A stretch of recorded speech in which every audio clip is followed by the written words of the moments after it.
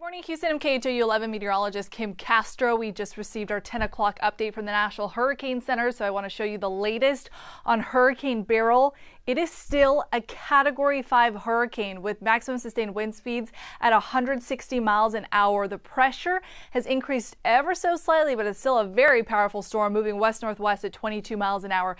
This is what I'm looking at on satellite imagery. Infrared imagery shows me that it's starting to lose some of its convection on the west and north side of the storm. It's interacting with some wind shear. So, slowly throughout the day, it's going to lose some of its intensity. But right now, heavy downpours, gusty wind, a storm surge threat for Puerto Rico, pushing into Hispaniola right now, the Dominican Republic starting to see those outer bands. Haiti will see some of those outer band impacts here in the next few hours. For that reason, a tropical storm warning for the Dominican Republic and for Haiti active right now, and then a hurricane warning for Jamaica behind that, the Cayman Islands under a hurricane watch because Right now, we're tracking the latest cone showing additional landfalls from Beryl as we head into the next couple of days. So let me show you the updated track for Beryl. Right now, still Cat 5 expected to weaken to Cat 4 throughout the evening, making landfall over Jamaica as a major hurricane still. Category 3 timestamp on this sometime late Wednesday afternoon into the early evening. It continues its trek over the Cayman Islands as a Category 2 hurricane and then pushes towards the Yucatan somewhere between Tulum and Cancun as a Category 1 hurricane. At this point, we are timestamp at Friday morning. Beyond that, as it heads into the Gulf, the National Hurricane Center has this weakening into a tropical storm.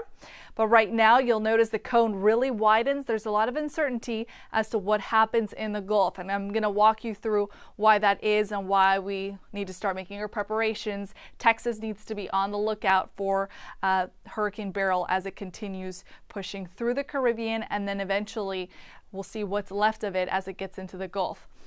Right now, I showed you it's starting to get broken apart a little bit on the west side and the north side because it's finally moving into an environment where there's wind shear. So far for the life cycle of Beryl, it's moved through a pretty favorable atmosphere, favorable to its strengthening.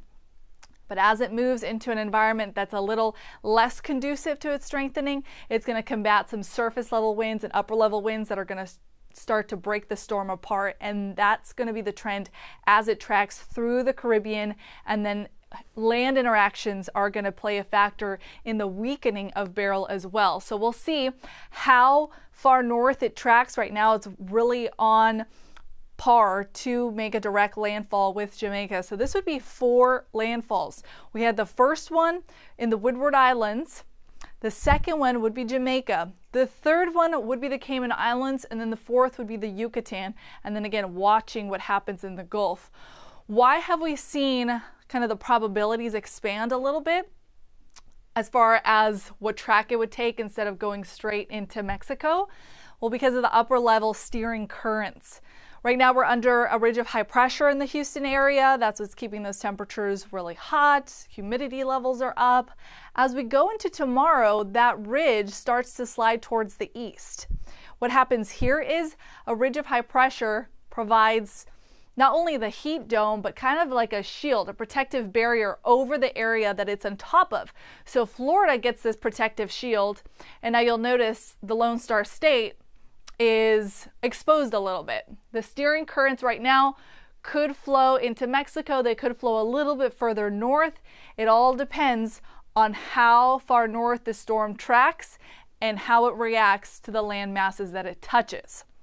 So that's why I say keep an eye on Hurricane Beryl throughout this week and just start thinking about some of those hurricane preps that you need to have made for hurricane season regardless. Yes, Beryl will weaken throughout the next coming days. Yes, Beryl right now is forecast to be a tropical storm. It's going to interact with quite a bit of land. However, as you'll notice, the spaghetti plot models are very all over the place as to what's going to happen beyond that. So that's why we're many days out from the storm entering the Gulf. In fact, right now where it stands, we're six days out from any potential impacts to the continental US. So we have a lot of time to watch the storm, to see how it develops, how it loses its intensity, how it interacts with land, how it moves either further north or further south, and then we have plenty of time to make those preparations too. Right now, what you need to be doing if you live along the coastline, perhaps you are planning to vacation along the coastline or you have a vacation home, know your evacuation plan. That's the first and foremost thing that you need to do is know your risk. If you're along the coastline, then you're prone to risks when it comes to storm surge or rip currents, things of that sort. If you're inland, you're prone to the risk of power outages and, you know, if it comes to a stronger storm, either with this one or later on in the season, we could see threats with flooding and things of that nature. So just know your risk. Inland communities should at least have a five day supply of food, of water, of medication. And then what you need to be doing is also keeping tabs on the forecast each and every day. The cone shifts and we get updates after it makes uh, a progression through the Caribbean. After Beryl makes a progression through the different countries that it touches, we'll get an updated track. So just make sure you keep tabs on the forecast at least once a day. I'm going to give a little update on this in Spanish as well. So this is going to be the Spanish section.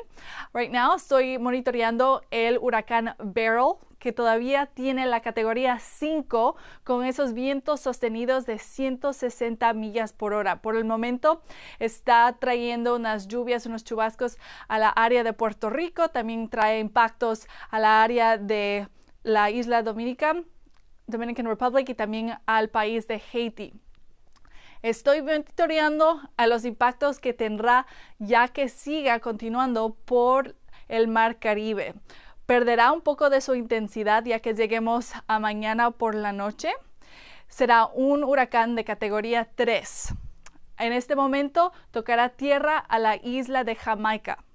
Ya que continúe, tocará más impactos a las islas Cayman de categoría 2 y continúa hacia México ya que lleguemos al viernes por la mañana como un huracán de categoría 1. Lo que sucede ya que pase México y se entre al área del Golfo, todavía estamos monitoreando qué podrá suceder, pero por el momento será un sistema tropical. Por eso tiene que monitorear el pronóstico todos los días y tiene que hacer estas preparaciones. Es que vive a lo largo de la costa, uh, comuníquese con su familia y conozca su plan de evacuación. Si es que vive en la ciudad, reúna los recursos, tenga comida, agua y medicamentos por lo menos por los siguientes cinco días. Y por supuesto, manténganse atentos y alertos al pronóstico todos los días. Make sure you get your forecast somehow, some way. We'll have updates uh, live on air, on social media, and on our webpage. We'll have articles too about this historic storm Beryl. It is the earliest in the season. It is the earliest on record Cat 5 hurricane like this. The last time we had one was in 2005 with Hurricane Emily, and that record was for July 11th. So this became a Cat 5 hurricane July 1st. It's now July 2nd, and it is still a Category 5 storm. Remember, it's expected to slowly lose some intensity, so we'll give you updates as it does that and as we get them on X or Twitter, whatever you call it, Instagram, and on Facebook.